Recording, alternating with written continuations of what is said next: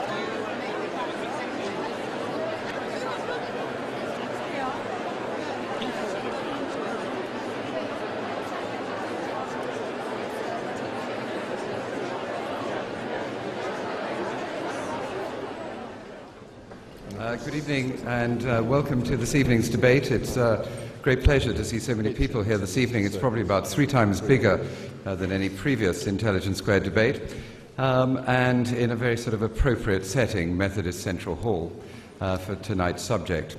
Um, I'd like to thank very much our distinguished panel of speakers and also our moderator this evening, Joan Bakewell, uh, for kindly agreeing to participate. Um, and also uh, thank you to the Times uh, newspaper, our media sponsor. Um, our next uh, event, there's a free event um, that is taking place tomorrow night. It's not a uh, Intelligence Squared style event, it's a question time, uh, which we're doing um, in conjunction with the National Trust um, on, never mind, the ice caps. And, uh, and that is a free event which is going to take place at the Royal Geographical Society with David Miliband, Rosie Boycott, Professor Philip Stott. Um, after that, we have two more. Uh, our next debate is Prison Works with Lord Woolf, and after that, um, Democracy Isn't for Everyone. Um, you've probably seen we've um, uh, previewed the autumn season, um, which is going to, uh, and tickets will be um, available on sale probably the end of April.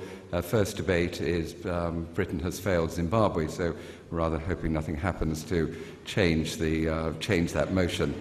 Um, anyway, all it does is to leave me to um, thank you all for coming and to pass over to Joan Bakewell. Thank you. Thank you, John.